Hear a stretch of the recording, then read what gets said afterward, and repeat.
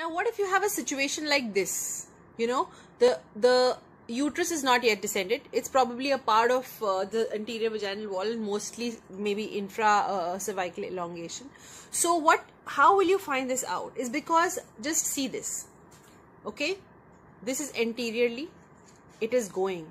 Okay, can you see the black mark anywhere on the anterior vaginal wall? The, the wall has descended but can you see this? My finger is going still inside maybe around 4 centimeters or so. So the point AA has not descended. You cannot see a black mark over here. It's still inside. So maybe over here the answer will not be plus 3 it will be minus 2 or minus 1 and in my case minus 3 so point AA is still minus 3 despite the fact that I can see the prolapse right here in front of my eyes. The cervix is right there in front of me. Similarly goes for the posterior vaginal wall. Okay, I can still put my hand inside. Okay, maybe over here the uterus can, the fundus can still be seen. So the hand can still go inside. That means posteriorly also, that means AP is also minus 3.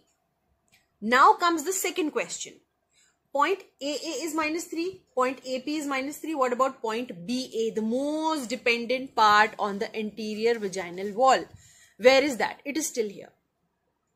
So in this case also, C, point C, that means the cervix actually. Or not exactly the cervix, the point C means the anterior vaginal fornix or the anterior fornix. It has descended down with the cervix.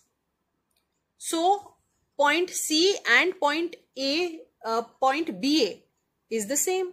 And that will be in this case it will be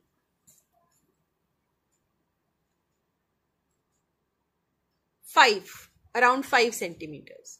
Okay so it is still out. Now let's go to the uh, posterior vaginal wall. Let's talk about the posterior vaginal wall. So in posterior vaginal wall also like i said point ap is still inside so it's minus 3 then comes point bp the point BP, that means the most dependent portion of the posterior vaginal wall. Since this is the not, this is not the most dependent portion, which is this, and in my case, it's almost like the fingers going by almost minus 6 centimeters inside, and maybe 4 is outside. So this is not the dependent portion. The one which is lying outside is actually the dependent portion, which is also that of the cervix. So like I said, it's minus, it's plus 4 in that case. So that means point D also becomes your point BP and it's almost lying outside.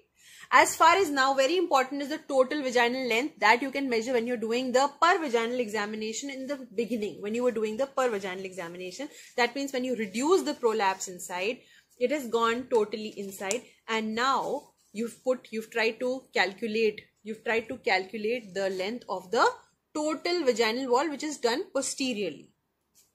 So you can measure TVL. If you want still more clarification on uh, PopQ grid, please uh, tell me through WhatsApp or whatever. This model will always stay with me and I can show you through different uh, methodologies, the different kinds of prolapse. So, um, uh, please go and uh, watch my lectures only then you will have clarity uh, watch my quiz because that to also clarify a lot of your doubts in your mind so just stay tuned